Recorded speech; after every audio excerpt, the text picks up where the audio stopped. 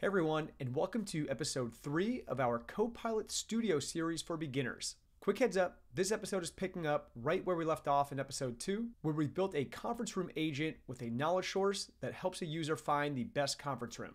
If you're starting fresh, check the links in the description for episodes 1 and 2 to get you caught up. Today, we're going to add email capabilities to our agent, and by the end of this video, your agent won't just answer questions, it'll be able to send information directly to your users. Let's jump right in. Here I'm in Copilot Studio with our conference room assistant. This is the agent that we built last session that helps employees find and book conference rooms based on a knowledge source that we uploaded. You can see it has some instructions about how to behave, and it has the knowledge source that we added last episode. But for now, we want to give this the ability to send emails. We're going to do that by coming up here to the Tools section. We'll click that this is going to let our agent do a variety of different actions. So let's click Add Tool. And this brings up a whole suite of built-in, out-of-the-box tools that we can use. I'm going to keep this one simple, and because we want to just send an email, I'm going to look at the Office 365 Outlook connector and click that. And we see here we have a whole bunch of different things that I can do related to Outlook. In this case, I really just want to send an email. We're going to start basic. So I'm going to click the send an email V2. Now this is just going to make sure that our connection is good and that our account is able to do this. So let's go ahead and click add and configure to agent. Now we're here setting up the tool and we're going to say exactly how we want it to behave. I'm going to go ahead and name this tool and I'm going to call it send room info. And then in the description box, I'm going to paste in uh, a bit more information to tell it exactly how I want it to behave. I'm going to say a brief summary with the recommended room name, key details, location, TV size, amenities, and booking instructions. You can see here, this is the send an email tool, and the connection has this green check, so we're good to go. And it's available to the agent that we want, this conference room assistant.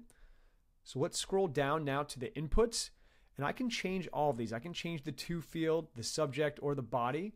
But for now, let's just stick with it being dynamically filled with AI. Or if I wanted to create a custom value, I could for any of these, but we'll keep it dynamic.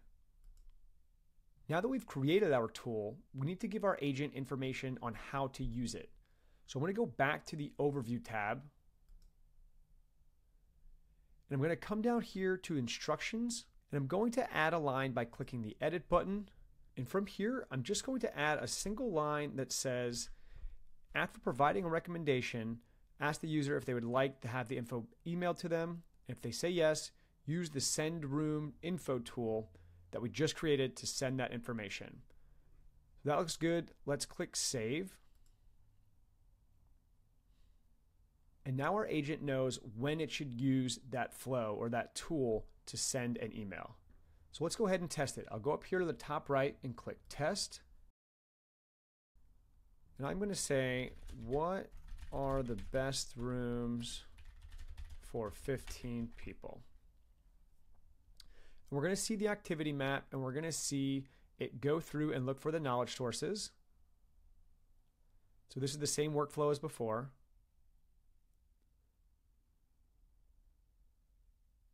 And it's going to give me the recommendations on these two rooms.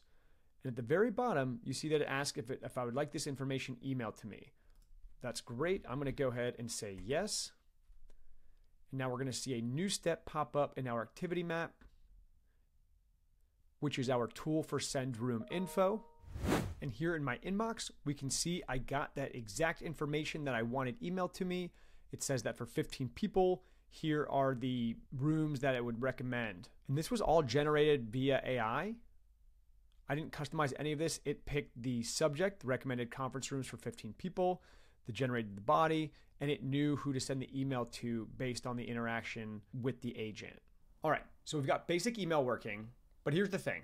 Sometimes people need time or they want to compare options. They don't want just one recommendation getting emailed. They want to see everything. So let's add a second email option. So if somebody says they want more time or want to see information on all the rooms, we'll offer to email them a complete guide.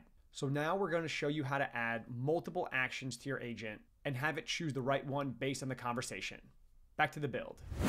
Back in Copilot Studio, let's follow that same process to add the second tool. So we'll go for tools. We're going to add tool again. In this case, same thing. Office 365 Outlook.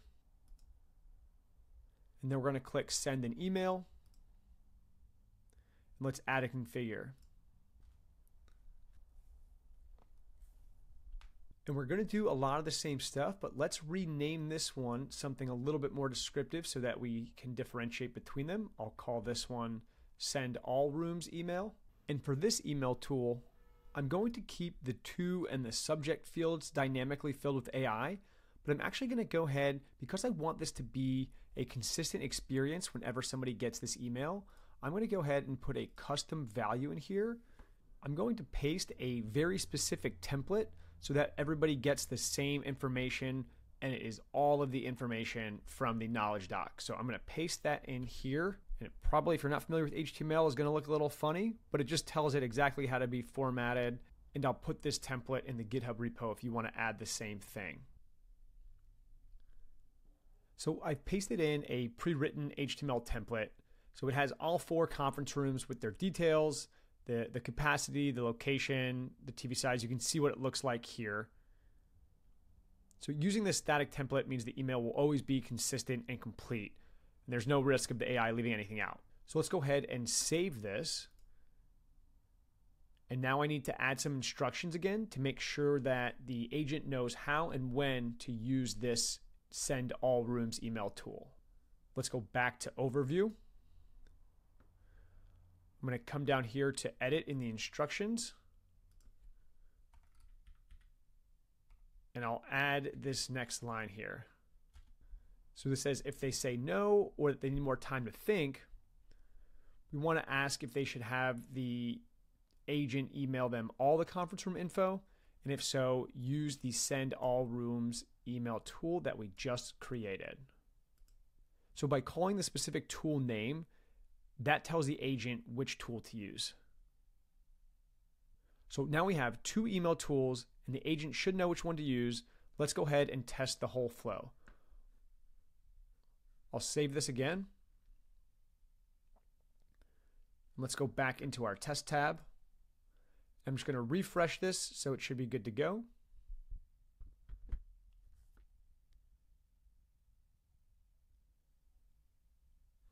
I'll come down here. I'll ask the same thing. Well, I'll say something different. I'll say, what is or what's the biggest room? So we're going to see that same activity flow before. It's going to give us information on which room is the largest. It gives us room 5A, asks if we want this emailed to us. This is the original workflow. Let's say, no, I need more time.